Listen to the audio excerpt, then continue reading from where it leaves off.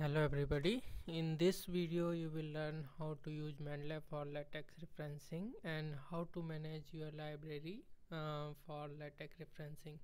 I mean if you have created your library using the Mendeley then how you can manage that? And then how to add references to your BibTeX database from some other source if you are using Mendeley and then suppose if you want to use Google Scholar then how you can add source uh, without or with Mendeley. And then how to add references in Mendeley without using the PDF file because sometimes we don't have PDF file available but we want to just use some entry and then add references in Mendeley. So uh, these are three basic commands for adding any kind of references so be before the begin document in your pre preamble use this first uh, command and then before the end document you can use these two last command. This last one is for bibtex database library and then the style uh, second last command is for styling. So let's start. So mm, suppose uh, you have some Mendeley and you want to use that. So uh, go to tools and then you have to create basically the .bib file. So go to bibtex and there are three options. Create one bibtex for my whole library create one bibtex per group and create one bibtex per document. So i will explain all these three options one by one. Let's choose the second option per group. And also you choose should choose this folder as your uh, uh, latex directory where you are actually working. So just create ok and synchronize it. This synchronization is important because uh, it will add all the references in. So basically here uh, per group references are created. So for each folder there is particular .bib file. So let me check this particular esd paper 2 so so uh, yes you can see this is not much useful. Otherwise you have to specify all the files. So the second option or third option is create one bibtex per document. So this is also not very useful. Let me demonstrate it. And demonstrate it. So apply.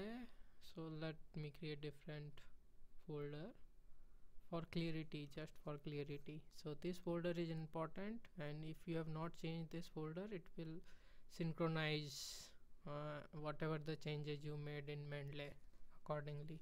So just click ok and check just after synchronizing of data reference so this for each document you have one .bib file. So maybe you don't want this kind of referencing because you have to specify a lot of library.bib file in your latex document. So let me demonstrate you most important and most useful option that is for whole library. Create one bibtex for whole library. So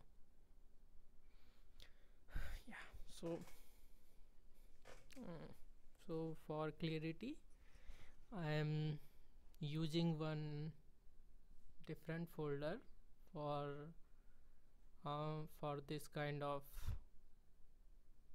library for just for clarity so that it would be clear to me where is the library. So this library you have created and this contains all of the references whichever is available in Mendeley so let me delete all other file which I am not going to use.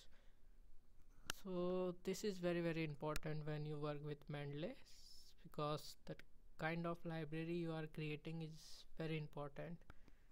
So if you want to create some particular folder library then you can also create and delete all other files.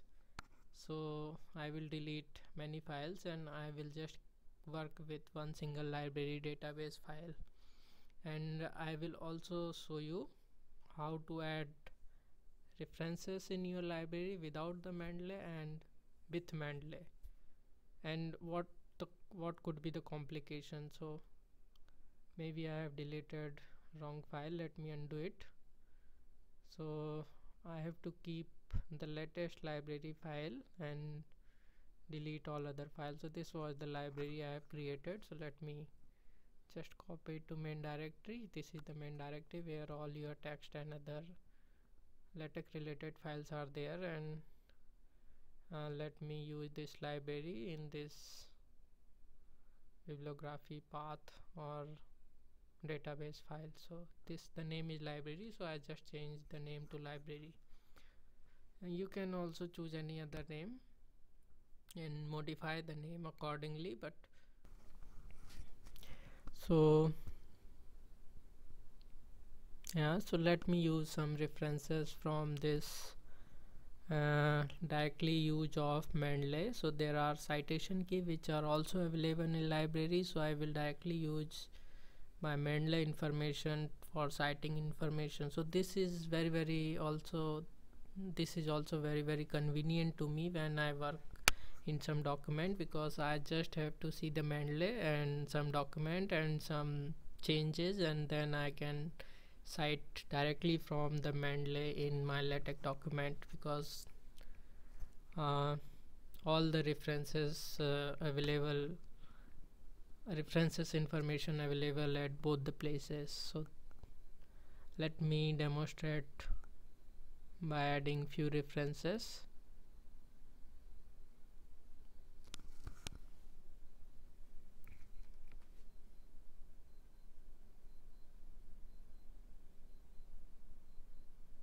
so let me add some more random references. So the overall idea is that you can smoothly work with your Mendeley if you synchronize all your file. So you can directly work with Mendeley. So let me demonstrate and run this document now. So basically you have four references and in your right hand side document this should be visible as 1 2 3 and 4 so so yeah. So these are the references. So you can see the information relevant to reference. So now I will also demonstrate you uh, if you have already created some library file but uh, you don't want to keep it synchronized with Mendeley and you want to use some other sources to add into directly this library how to do that?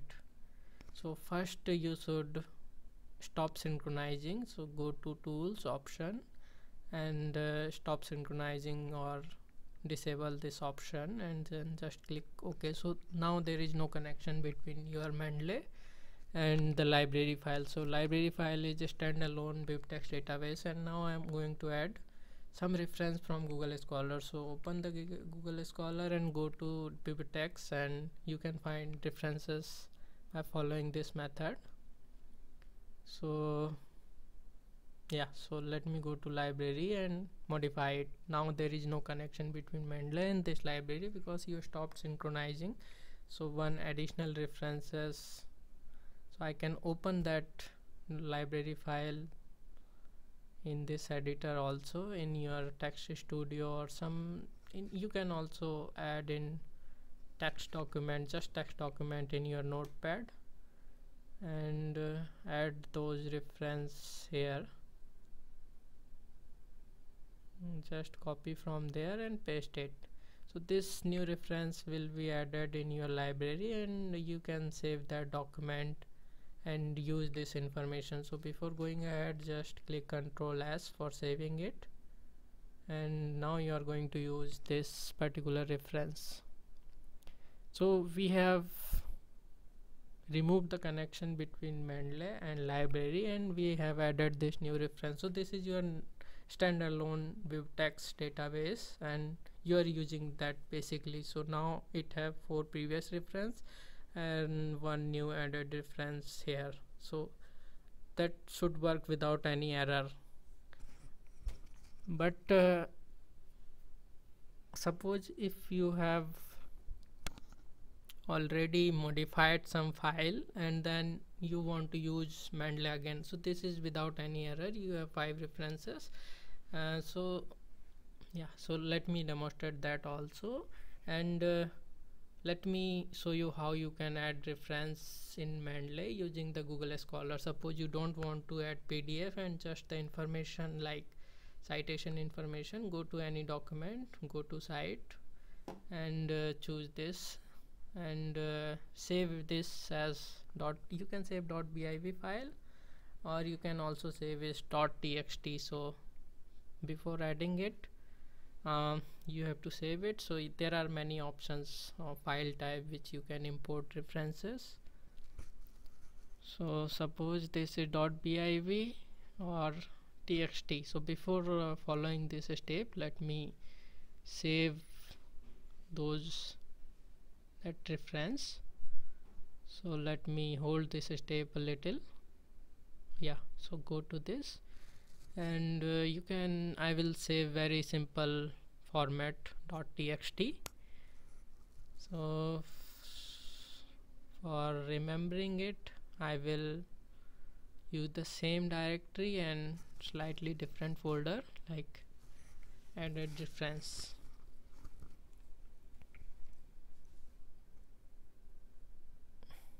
mm, you can give any other name but go back to Mendeley and add reference in your Mendeley database without adding PDF file. So yeah.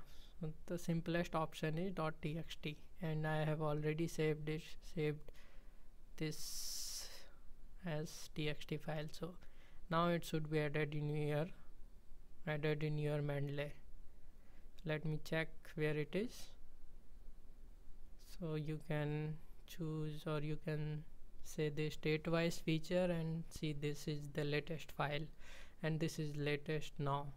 This is basically added now. So this is the reference basically which is added. So now I am going to use this reference. So this is very very important step tools option and then synchronize. So very very important that we have uh, just modified the library and now we are using the Mendeley again so.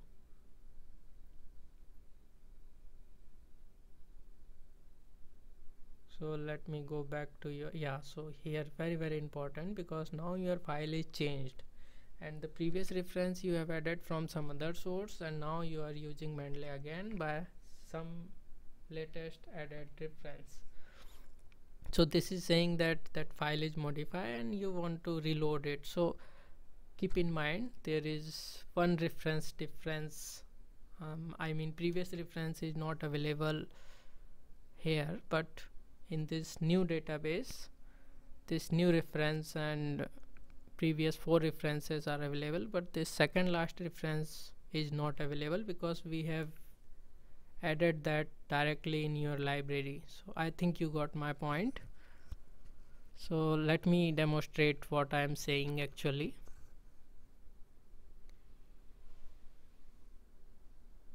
This is the library file and these are all the ref so now this would have six references if I have added these references. So let me run it. So so after running it there is 1 2 3 4 and there question mark and 5 so the question mark is basically the reference which is not available and that is also shown maybe in the warning if you see clearly. So didn't find a database for this because previously you have added by unsynchronizing or stop synchronizing using the Mendeley and now you are using the Mendeley library again. So this is very very important. If you want to use Mendeley you should use Mendeley throughout. And if you want to stop using Mendeley and added uh, references from some other source then you should keep in mind this kind these kind of things. So that's that's all. I just uh, removed that reference and now it is working 1 2 3 4 5 without any error. So that's all from this video. I hope you learned something and if it is helpful to you please like this video and subscribe to my channel. And thank you for watching and thank you for your attention